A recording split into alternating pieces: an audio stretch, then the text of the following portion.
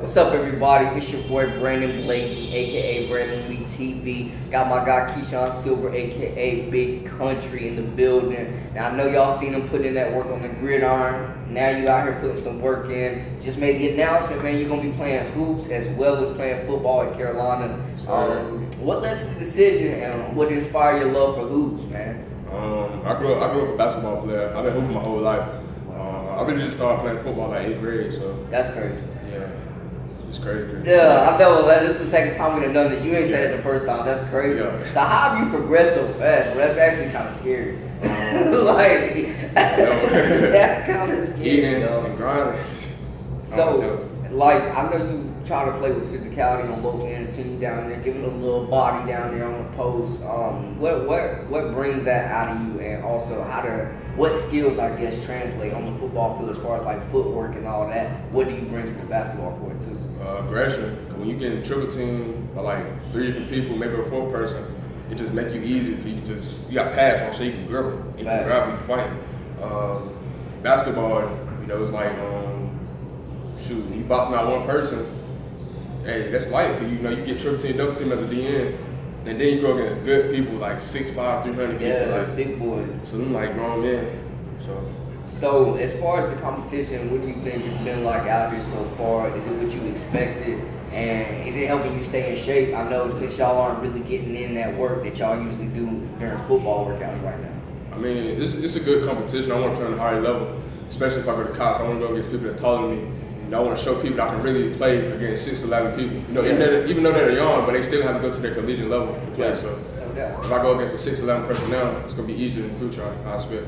How you how would you describe your game on the court for people that haven't seen you? Um, I love defense, so I'm like a Dennis Rodman. But if you know, offense, I can switch it up. You know, Karl Malone, Lil. You know, I'm just a freakish player, so you know, it's, it's something that I. Hey, that's some names out there, no cap. So I know, man, you've accomplished a lot on the football field. Um, what goes into that as far as becoming a five star? Was that something that you set out personally to do? And also, um, you know, how do you stay humble and knowing that people coming for you being the number one guy here in North Carolina? Uh, I mean, in a million years, I never expected where I'd be now. I'm from I'm from Howard Street. That's nothing. Like it's it's, it's rare you come from Rocky Mount, make it out. I mean, it's like a couple people, but you know, stay humble, man. You just gotta look at your background. Like like my motivation is that my old house. Like I look at it like, man, I can't can't stay there forever. Like like my old house, man, that jump so bad, bro. And like that right there just motivates me every day, every time I see it roll past it. It seems like man, y'all guys from ENC is really just built different, man. Like what goes into that? I feel like every every athlete I meet or interview from down there, man, it's just a dog, just hard nosed, ready to work, just ready to get it. All the time. We just we different. Everybody in North Carolina different. All day, every day. So what are you looking forward to?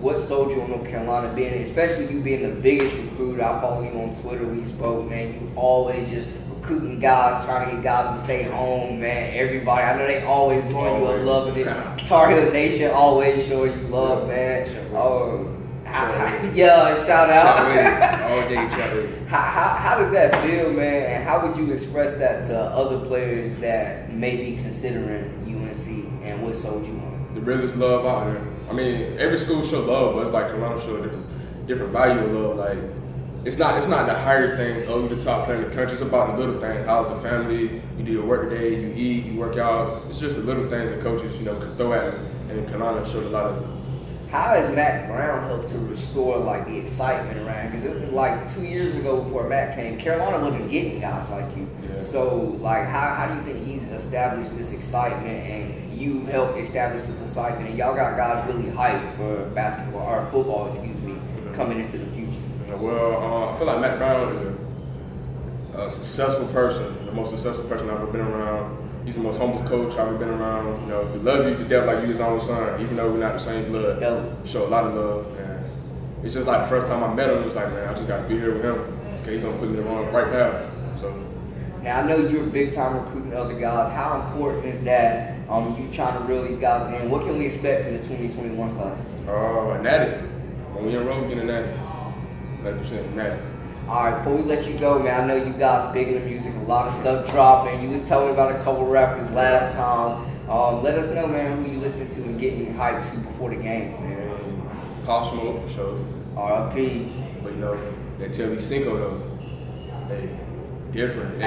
Different. Facts. All day. Facts, man. I definitely appreciate you going on again. Def got the audio this time. Um, let them know where to find you on social media, man, so they can follow your journey. Uh, my name Keeshawn Silver, aka Big Country. You can follow me on Instagram at Keeshawn uh, dot underscore K E E S H A W N dot underscore. Um, my Twitter is underscore Jumpman seventy four. Yeah, my man still trying to get to 10K, so help help my guy.